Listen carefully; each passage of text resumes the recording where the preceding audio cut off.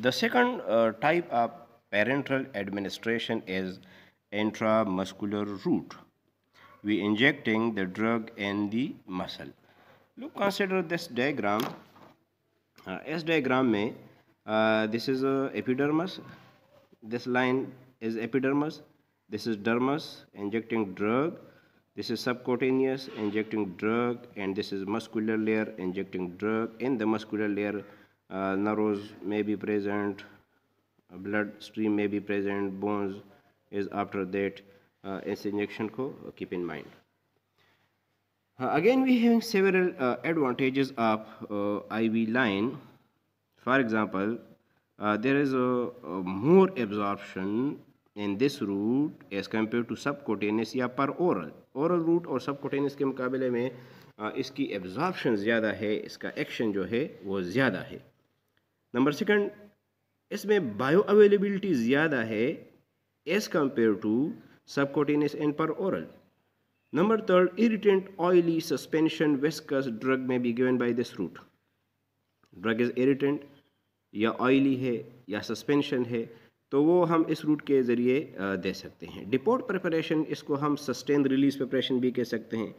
They are slowly releasing from the muscle into the uh, vein mean कि इसकी absorption slow आहिस्ता होती होती है uh, even uh, this absorption may prolong up to one month.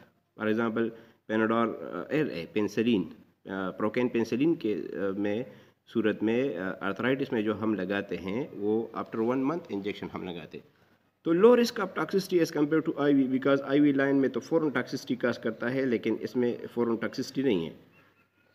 Drug which are not suitable not suitable for GIT line uh, may be given uh, by this route. Those drugs which can interact with the GIT enzyme or GIT uh, acidity वो हम इस root के ज़रिए uh, वो drug हम I am लगा सकते हैं डिसएडवांटेजेस में this is very painful route this is non economical route self-administration is not possible, uh, a uh, medical technician is needed. Now our next uh, toxicity, look here, uh, this is the blood, uh, this is the blood stream. Once we inject the drug, this, this drug is uh, in muscle, and the drug go from this muscle toward this blood stream and then go to general circulation. Now we can inject uh, this drug to two type of muscle. One is deltoid muscle and one is gluteal muscle.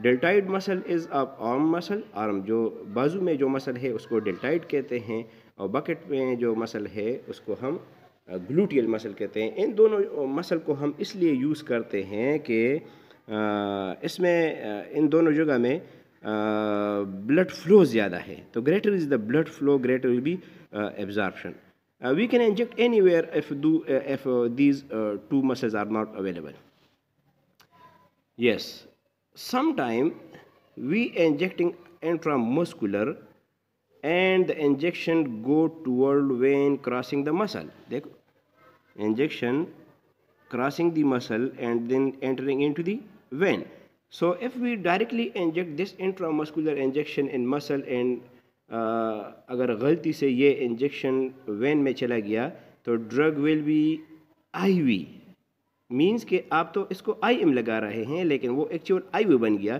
तो दे में का severe toxicity तो इसलिए बहुत ज़रूरी है कि आप जब मसल में इंजेक्शन लगाते हैं तो जब आप इसको मसल मसल में इंजर्ट कर ले तो इस प्लंजर को इस तरह इस तरह, इस इस प्लंजर को इस तरह ज़रा पीछे ढकेलें।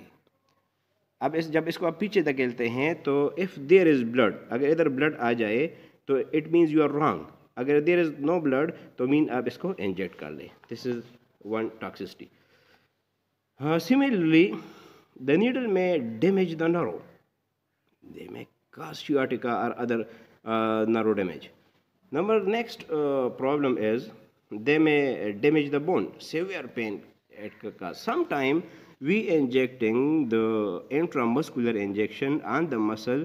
और इस स्किन पे बहुत सारी गंदगी होती हैं, इसको हम साफ़ नहीं करते हैं। फिर अगर इस पर कपड़ा है, कपड़ा उतारे बगैर अब इस इंजेक्शन को अगर लगाएँ तो इस नीडल में एक तो ये गंदगी आ जाएगी।